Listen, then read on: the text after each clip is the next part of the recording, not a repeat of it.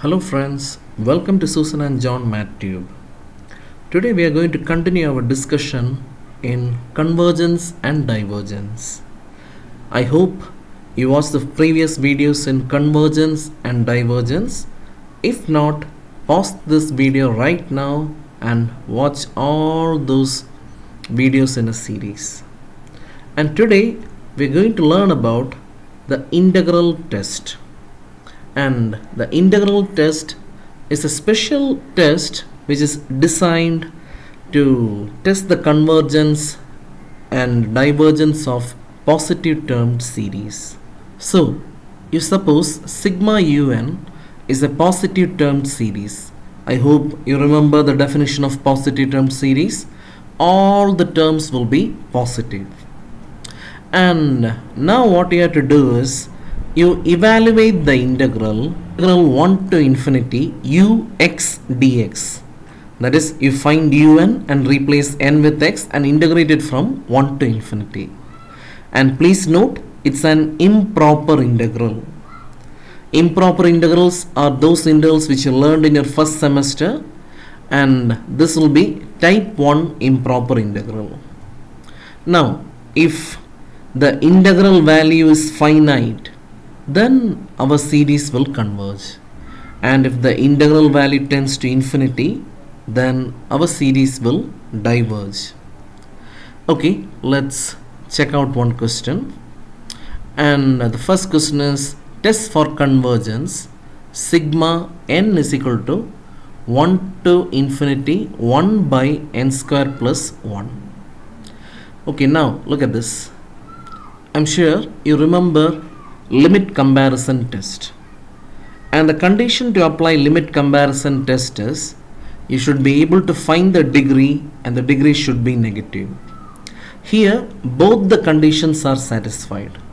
I'll repeat both the conditions are satisfied so you can work out this problem with limit comparison test.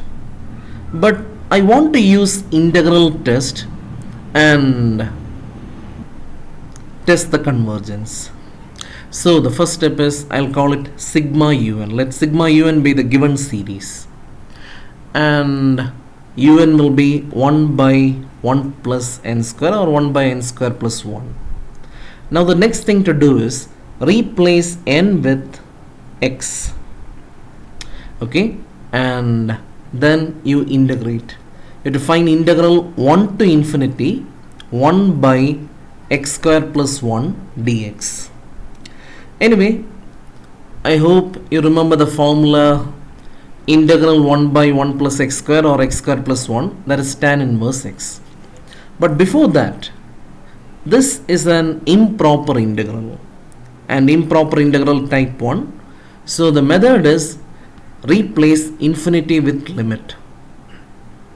We cannot add up to infinity so we converted it into limit problem. And then we are integrating this normal integration and I'll keep all those steps over here.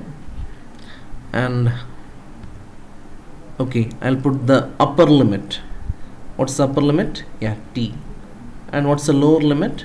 1 so we get tan inverse t minus tan inverse 1 and I'm sure that you know the fact tan 45 degrees 1 that is tan pi by 4 is equal to 1 so that tan inverse 1 is pi by 4 okay now we're going to take the limit. What is tan 90 yeah infinity. So what will be tan inverse infinity?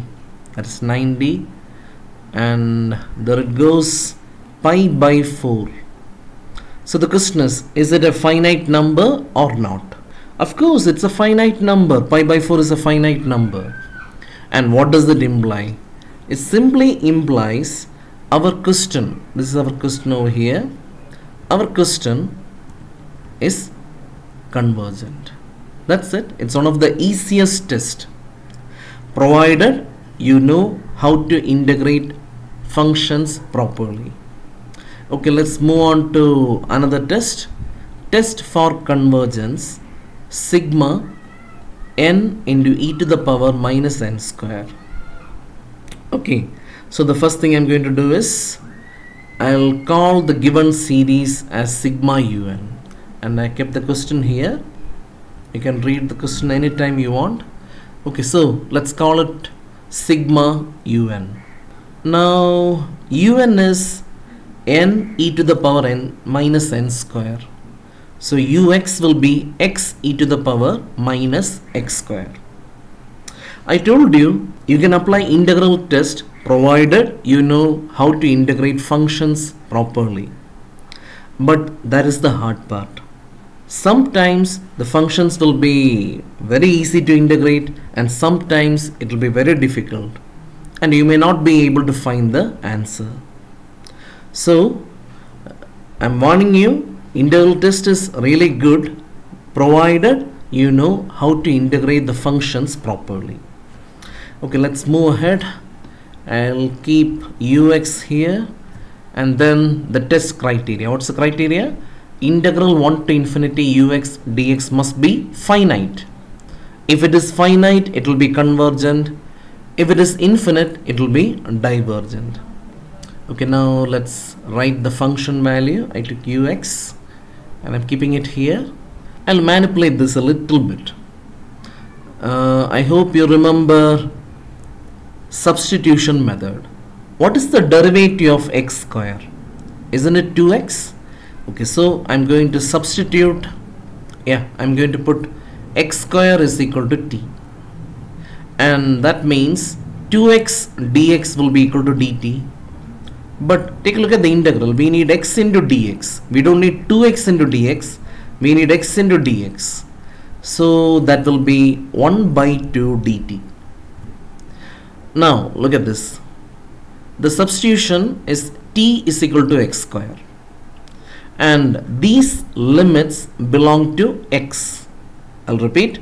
The limits which we see here 1 to infinity belong to x. So t is equal to x square. So when I put the lower limit I get 1 square that is 1 and when I put the upper limit oh infinity square that's again infinity. Now let's substitute. The new limits are 1 to infinity and instead of x square we are supposed to use t and x dx is nothing but 1 by 2 dt now again the same problem improper integral. So let's keep this 1 by 2 outside and make it proper. And I cannot use t I already used t so I'll replace infinity with some letter w. And I hope you know how to integrate e power minus t that is e power minus t whole divided by minus 1 now I'm going to throw this minus outside. And put upper limit lower limit. And I hope you remember these things from the exponential graph. E power minus infinity tends to 0 and e power infinity tends to infinity and e power 0 is equal to 1 okay that's it. Substitute. Yeah I hope you know the fact that e is a finite number. So definitely 1 by 2e will be finite and if the integral value is finite then our series will converge okay let's check out one more question so that the method becomes clear so the third one, test for convergence 1 by 3n plus 5. Okay, I know, I know that you can find the degree and the degree is negative. You can apply limit comparison test. But I am trying to use integral test to test the convergence. So let's follow the pattern. Let's call the given series to be sigma un. So un will be equal to 1 the whole divided by 3n plus 5. And now I'll replace n with x. And I'll keep it here. Now what's the test criteria? Integral 1 to infinity ux dx. And that will be 1 by 3x plus 5. And I hope you remember the derivative of log x natural log natural logarithm of x is equal to 1 by x so integration of 1 by x is the natural logarithm so we get first let's get rid of that improperness and let's apply the formula. So as I told you integral 1 by x is natural logarithm of x. So 1 by 3x plus 5 gives us ln 3x plus 5 the whole divided by 3 now put upper limit and lower limit and we get ln 3t minus 5 minus ln 8 I'll do one thing I'll keep all the steps here. If you want you can just go through it and our question is here. Okay now tell me what is log 0 minus infinity? If you remember the graph of logarithm it will be very easy to remember these values.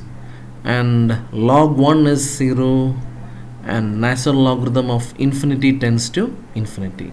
Okay let's put it together. So I want you to take a look at this test criteria. T tends to infinity and ln infinity is infinity. So we are going to get the value infinity. Okay. And if the test criteria becomes infinite then of course our given series will be divergent okay that's it for now I'll be soon giving you a video lesson in Leibniz test. Leibniz test is a special test designed to check the convergence of alternating series. So I'll be back with that. So till then you can work out more problems in this convergence and divergence. So till then mm-hmm. bye.